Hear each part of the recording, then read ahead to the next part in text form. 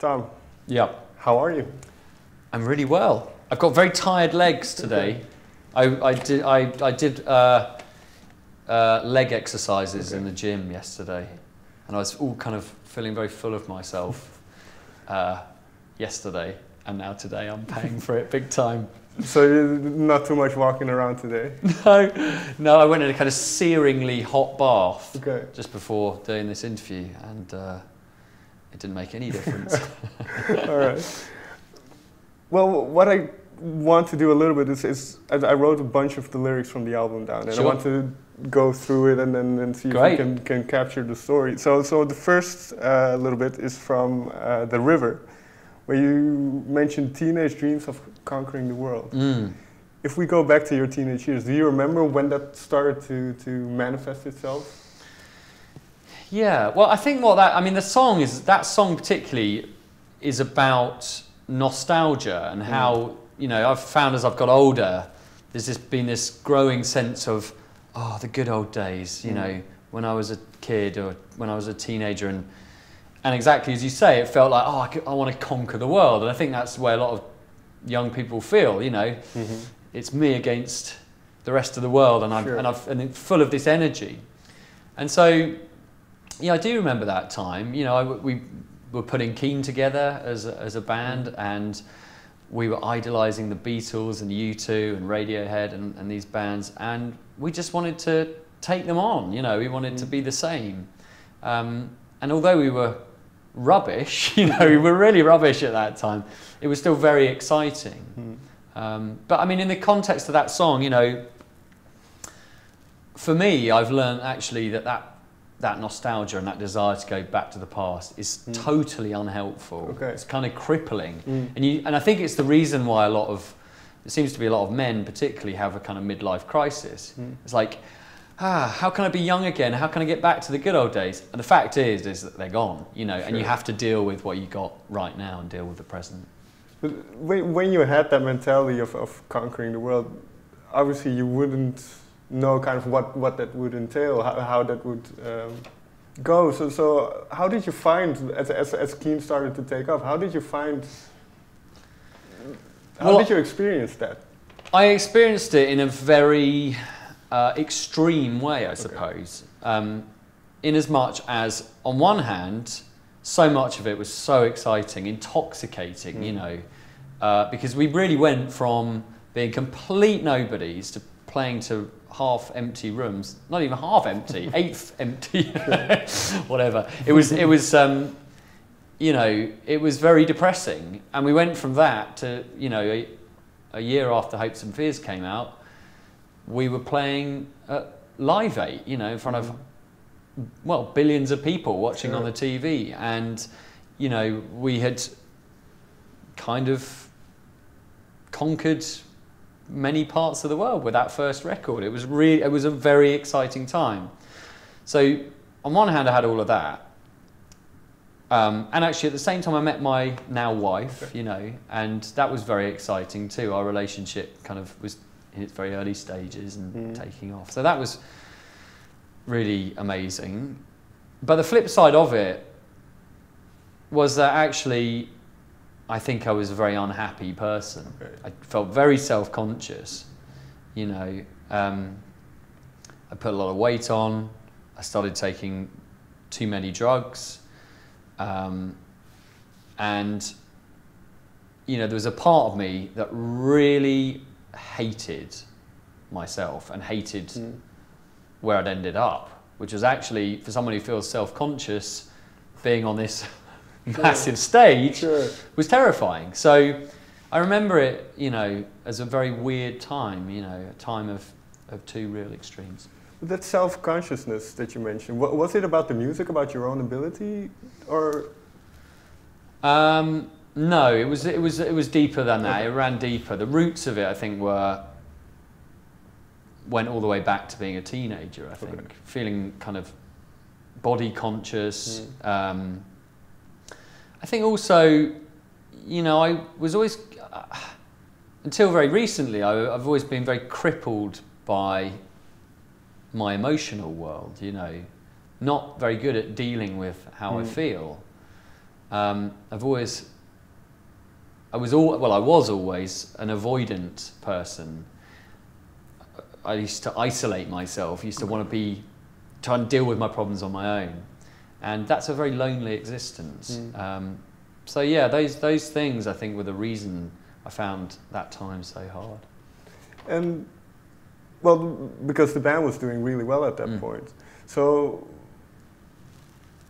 in in a sense, what what's, what was that like? Because on the one hand, you're, you're doing really well, but on the Mm. other, in, uh, you have some some inner turmoil. So, so Mm. how do you push on?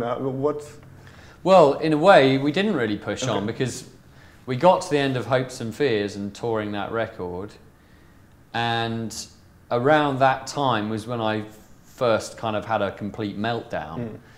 Mm. Um, and, you know, I flew home from a tour in Japan without telling anyone. Uh, I locked myself in my house for like a week and just took a load of drugs, uh, and no one could really get hold of me. Mhm. And I ended up in rehab, you know, and it got all in the newspapers in the UK, and um, it was a really, just a really horrible time.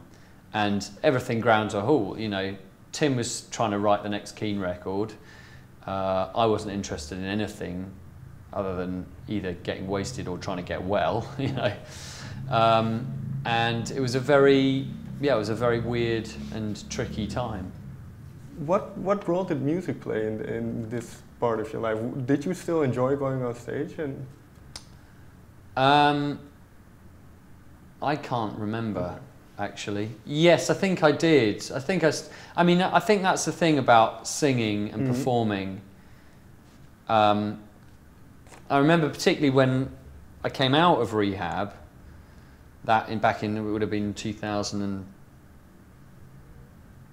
five or six. Anyway, I, Mhm. I can't quite remember. Yeah, two thousand and six, and you know, I was pretty fragile at that point. I'd been Mhm. locked away for four or five weeks, um, and I kind of didn't know what to expect from the world when I kind of emerged.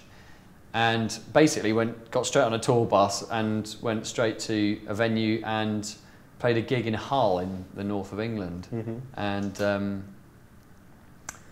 was kind of met with this sense of real, genuine love and affection from the fans, and felt very happy Mm. singing and being on stage. But the rest of the time, sure. yeah, not really. And around this time, uh, you mentioned 2006. Uh, around this time, were you already in your mind busy with with a with the solo album? Did you did you Mhm. think about it?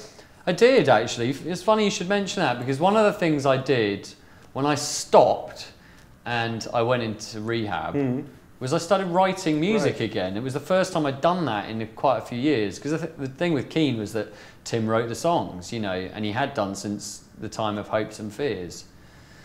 And so that part of me, that where I wrote songs and was creative, I kind of shut that down. Mhm. It was interesting. As soon as I went into drug rehabilitation and started talking about my problems, suddenly songs started to Mm. flow out of me, and I had this desire to create again. So, um, yeah, um, you know, I wasn't really thinking about a solo album then, but uh, but I certainly, you know, had got creative once more. Right. But unfortunately, you know, the years went by, and I pushed that part of me back down again. Mm, not going there. Mhm. It wasn't. Yeah, it wasn't until recently, really, that I began to properly consider it. Because it will- we'll, move uh, along a little bit uh, quicker. But after Strangeland, then Mm. was it immediately immediate immediately your intention of, of, of doing a solo record? Did you know you were going to take a break and, and Well, in I think it would have been January of 2013. We were touring Strangeland, and we were out in America. And I just remember one day I woke up, and I thought,